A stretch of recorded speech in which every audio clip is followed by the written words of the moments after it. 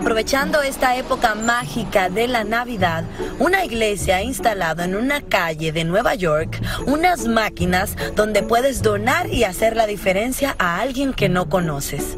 La idea de, las uh, Giving Machines surgió en base a, la campaña que tuvimos eh, de iluminar el mundo, que es parte de la campaña de la iglesia, y cuando estaban haciendo eh, la idea, eh, pensaron que esto podría ser una buena oportunidad en que las personas dieran y pudieran contribuir a, estas, bueno, a estas organizaciones con las que estamos haciendo alianza. Funcionan como una máquina convencional que vende eh, algunos snacks o algo, eh, se utiliza una tarjeta de crédito, eh, uno hace la selección del regalo que quiere dar y ese regalo cae a la máquina, entonces es algo tangible y te da un recibo ¿no? de tu contribución que has hecho en base a la, a la solicitud y al regalo que se ha escogido.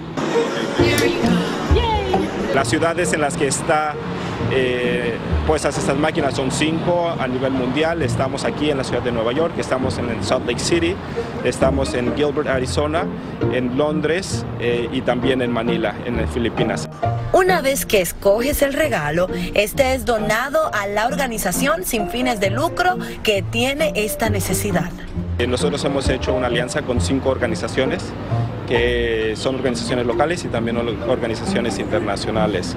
Y cada una de esas organizaciones ha traído o ha dado una lista de las necesidades eh, y cosas que pueden eh, ser de mayor ayuda para ellas en diferentes rangos de precio y, eh, y esto es lo que, eso es lo que está, eh, los, los, regalos que se pueden obtener de cada máquina eh, de los Giving Machines. Esta mañana compré un chivo con Care y unas mochilas con UNICEF y sé que las dos donaciones van a poder ayudar a gente necesitada esta Navidad.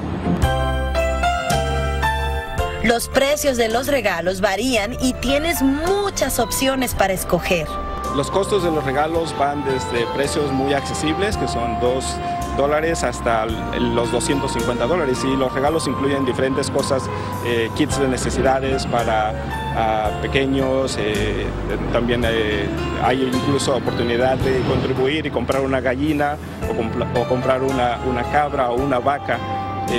entonces hay, hay un rango y, se puede dar de diferentes, bueno, accesible para todo el mundo.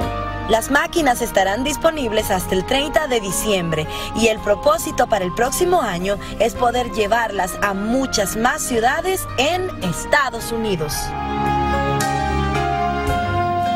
Ay, ojalá, ojalá que se puedan. no, ¿Qué cosas tan solamente pasan esas cosas y yo creo que ojalá que logren la meta, Carla, de poder llevar estas máquinas a todas las ciudades aquí en los Estados Unidos, porque hay mucha gente que lo necesita, pero de igual forma hay muchas personas que queremos ayudar. Así es. y yo aprovecho también y les digo así rapidito que estoy hablando de Nueva York, hablando de cosas bonitas. También recuerden que está teletonusa.org si quieren ayudar y colaborar.